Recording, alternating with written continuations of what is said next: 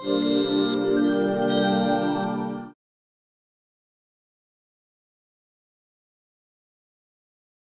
Questo sciopero richiamo al governo per eh, tante rivendicazioni che interessano eh, tutti i lavoratori di questo paese. La finanziaria che eh, è alle porte eh, è peggiorativa rispetto alle precedenti. Sono temi molto importanti, sanità, sicurezza, eh, fiscalità, eh, pensioni che interessano tutti i cittadini dell'Italia. Il mondo della scuola è anche coinvolto in questo sciopero, in queste manifestazioni.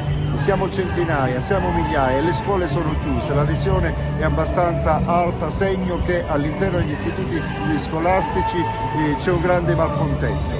Eh, nello specifico noi rivendichiamo la risoluzione atavica del problema del precariato, non è possibile che in questo Paese ci sono oltre 200.000 precari che non assicurano la continuità eh, didattica. Un secco no al progetto di autonomia differenziata per una scuola statale e nazionale e per evitare la commistione tra scuola e mercato. Dobbiamo scongiurare il pericolo del dimensionamento, aumentano gli alunni per classe e diminuiscono gli istituti scolastici, eh, si deve fare di più sulla sicurezza, la sicurezza degli edifici scolastici.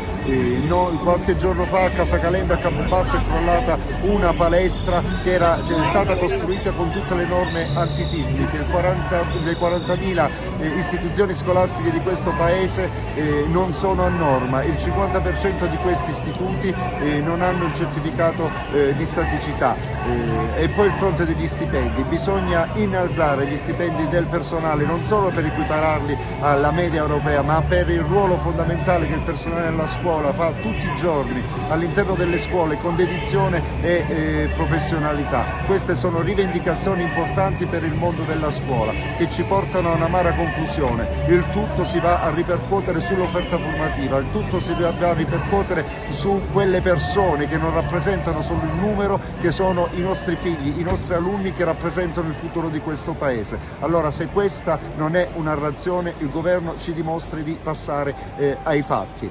Siamo qui per questo motivo, per rivendicare eh, tutte queste motivazioni e soprattutto per protestare contro una politica che fa cassa e non investe.